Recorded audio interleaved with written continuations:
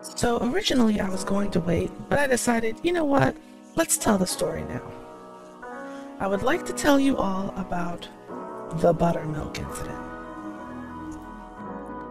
One day, a long, long time ago, when I was a little bun, it was summer, summer vacation, and the family was, you know, staying together in the same house.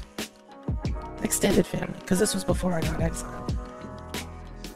It was early in the morning, but most of the family had gone out to go shopping or something. I don't really remember. What I do remember was it was a nice day, cartoons were on, and I was gonna get some cereal. Captain Crunch. Love that cereal. It's so good. I get my bowl, I get the cereal, I grab the milk, cartoons are playing, Scooby Doo is trying to get some extra snacks out of uh, Velma and Daphne. It's gonna be a good day. Cereal is poured, I pour the milk. I go to take a spoonful, take that first bite, and something's wrong. It's disgusting. It is absolutely awful. But the milk didn't look bad. It didn't have any particularly bad smell, but it tasted sour, and very clearly like something had gone totally wrong. Now, my family doesn't like to waste things. And I knew if I got caught throwing away an entire bowl of cereal with milk, I was gonna get questioned. But luckily for me, my uncle was still around. So I go, hey uncle, um, this cereal is fine, but the milk is no good. And he's like, really? I thought that that was a new carton of milk. You know, here. And I'm like, here, try it for yourself. And he takes a spoonful and he almost spat it all over the place. It was kind of funny. He was like, oh yeah, this milk is absolutely no good. And then with uh, an additional witness, I proceed to pour the milk down the drain and throw the cereal away because it's no good. It's gross. It's nasty. Then we take the rest of the milk from the carton and we pour it down the drain. Now, if you were paying attention to the name of the store, you already know that what I, the mistake that I made was instead of using regular milk, I accidentally poured myself a bowl of cereal with buttered milk.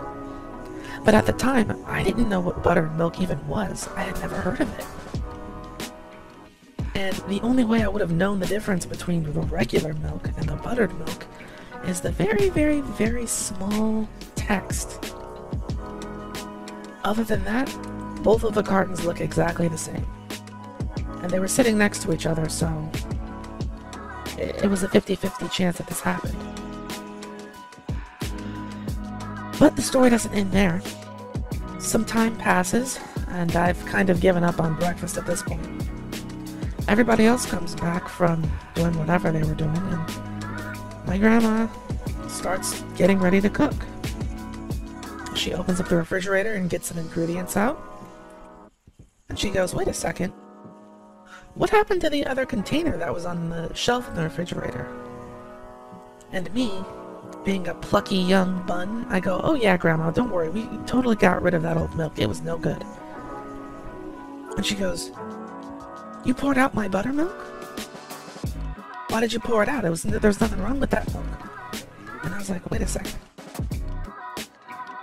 What the heck is buttered milk?